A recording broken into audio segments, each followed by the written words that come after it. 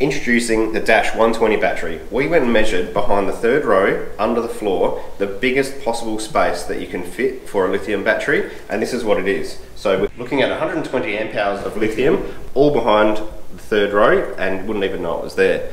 Uh, to up it even more, we've got an LCD display on the front of the battery that will show voltage and percentage of, or state of charge. And also on the side, we've got three 120 SP Anderson plugs.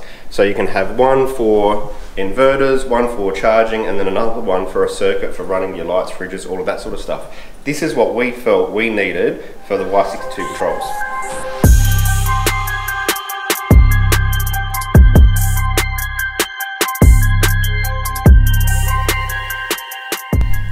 The Dash 120 battery would come with its own app, so you can go on the Google Play Store or Apple App Store, download it, and that's easy to do from the QR code on the battery itself. And then it will show you things like state of charge, uh, what current's being used or when it's charging or discharging, uh, how many amp hours are left in the battery, the temperature of the battery, time to uh, empty.